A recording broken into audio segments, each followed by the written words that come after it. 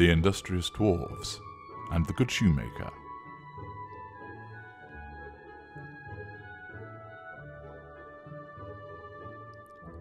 Once upon a time, there was a shoemaker who worked very hard and was very honest. Despite his industry, however, he couldn't earn enough money to live on. One day, he returned from the pawnbroker's to his waiting wife. Well, I've pawned nearly everything we have, save some leather and my tools. We can at least pay the rent this month, so we will have a roof over our head come Christmas, he said. It's the rent that's the problem, dear husband, answered the wife. If it was not so extortionate, we wouldn't be in this pickle. Every month the landlord's agent, that horrible Mr. Lou Tennant, comes round here and tells us that the landlord has increased the rent again. I know, dear wife, I don't know why he doesn't evict us. It's because you keep trying ever harder to please him. That is why. And look at us now. Nothing to eat, and Christmas on the horizon. What are we to do?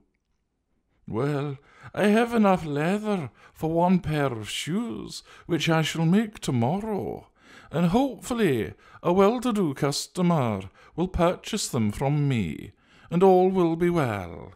Worry not, dear wife, we have one another, and our honesty, our decency, and our compassion. So the husband and wife headed upstairs to lie on the straw mattress, their bed having earlier been sold. In the morning the shoemaker rose, said his prayers with a rumbling, empty stomach, and went downstairs to the workshop. There, on the workbench, was a beautiful pair of leather shoes, fashioned to the highest quality. The shoemaker knew not what to say at such an odd thing happening. He examined the workmanship, and there was not one false stitch in the whole job. Later that day, a somatic narcissist arrived at the shoemaker's, and with doting empath in tow, the somatic wanted to show off. And he bought the shoes, and with no regard for his already straining overdraft, paid over the odds for the marvellous shoes, and departed with a flourish.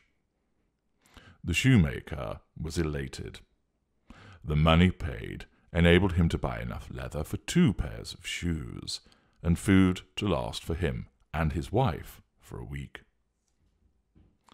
In the evening, the shoemaker cut out the leather and went to bed early, so that he might get up and commence work on the shoes in the morning. He was saved the trouble, however, as when he came downstairs to the workshop, he found that two pairs of magnificent shoes with red soles had been fashioned. As soon as the shoemaker opened the shop, an elite narcissist appeared and purchased both pairs of shoes for his dirty little secret that he needed to keep sweet. The elite narcissist, in keeping with his status and grandeur, paid handsomely for the shoes to the extent that there was sufficient money for the shoemaker to purchase leather for four shoes, and for him to pawn back his e-phone from the pawnbrokers. Once again the shoemaker cut out the leather, and in the morning came down, and found the work had been done for him once again, and he found four pairs of boots polished and buffed, ready for sale. So it went on, with the shoemaker buying more and more leather, and his wife splurging on the Rainfost Internet store as she stocked up with essential goods such as a text messaging chandelier, an ePod toilet speaker, a head massager, and a noodle fan. Happy days indeed. Every night the shoemaker would cut out the leather, and in the morning several pairs of immaculate shoes and boots would be waiting for him to sell. One evening, about Christmas time, the shoemaker and his wife were sitting over the fire chatting together, and he said to her, We have been most blessed by whoever it is that is making these shoes and boots for us. I should like to sit up and watch tonight to see who comes and does my work for me. The wife liked the thought, so they left the light burning and hid themselves in a corner of the workshop behind a curtain that was hung up there and watched what would happen. As soon as it was midnight, there came in seven naked dwarfs, and they sat themselves at the shoemaker's bench, and all the work that was cut out. Just then, a tall, sinewy figure entered. It was Mr. Lou Tennant. Right, you miserable, vertically challenged reprobates. My boss, Nicholas Ark, wants his money's worth, muttered Tennant at the dwarfs. So tonight, we need product for Noki, Udidas, James Choo Choo Train, and Meow Meow. So get those made first, and then the rejects can be left for the loser who runs this place. Capiche? ordered Tennant. Beg your pardon, Mr. Tennant, but when might we get our clothes back? asked one of the dwarfs. It's rather chilly around the old Willie in here. Suck it up, Buttercup, announced Tennant. Mr. Ark didn't want you wandering around town in orange jumpsuits with community payback plastered on the back, drawing attention to this place. Not when using your labour, he can undercut the Chinese orphans and the Indian slum kids. the dwarves lowered their heads and cracked on with their shoemaking skills. Oh, that's terrible. Fancy making them work naked, whispered the wife to the shoemaker. Really? muttered the empathic shoemaker. Okay, the poor chaps must be rather cold. No wonder they work so quickly. But the fact that they're undercutting the Chinese orphans and Indian slum kids whilst diverting my product to the Western icons of capitalist exploitation, that doesn't concern you at all? asked the shoemaker. Well, now you come to mention it, how come you didn't think of it, clever clogs? asked the wife. The next day, the shoemaker said to his wife, Those naked dwarfs have made us a good living, and we ought to be thankful to them. So we should do them a good turn. I'm sorry to see them run about naked. Well, all save the bald one. Ooh, my, he's rather buffed and ripped. Mm. anyway, I shall make them a shirt and a coat and a pair of shoes, a waistcoat and a pair of pantaloons. Och, bollocks to that, laughing boy, said the wife. Run them up a onesie each and be done with it. Ever eager to please, the shoemaker prepared seven onesies, all labelled with the names of the sins of the empath, for he had heard their names used by Mr. Tennant the previous night. These onesies are so comfortable and warm that they'll be mightily pleased with them, smiled the kind shoemaker. The cobbler made the clothing and shoes, and instead of laying out the cut leather, he placed the clothing ready for the dwarfs before he and his wife had once again waited for their arrival. Around midnight, the dwarfs appeared and shuffled into place, morose looks on their faces.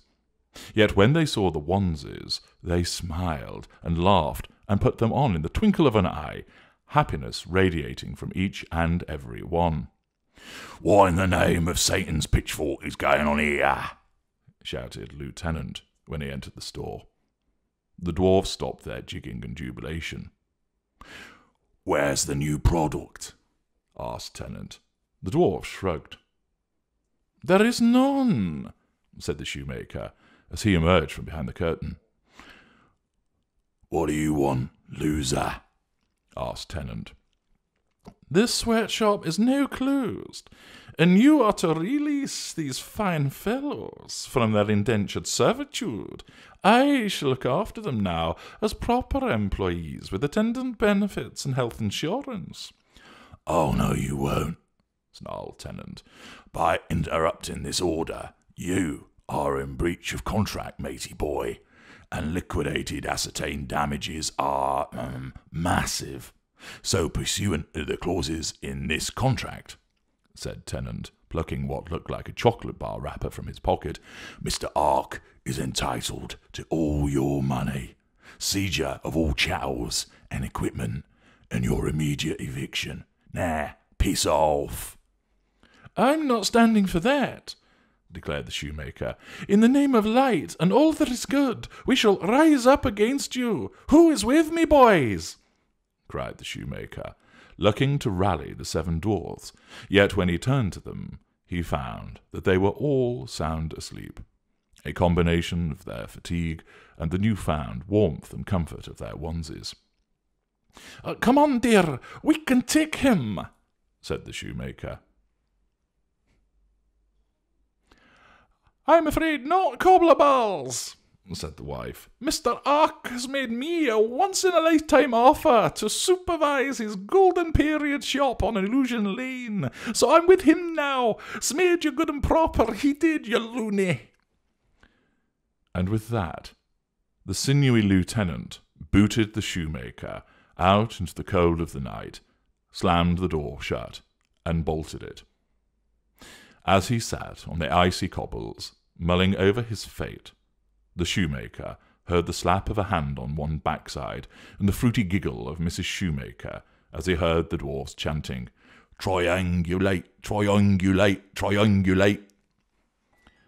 The shoemaker sighed and felt the first tear of dejection trickle down his cheek as penury and misery beckoned.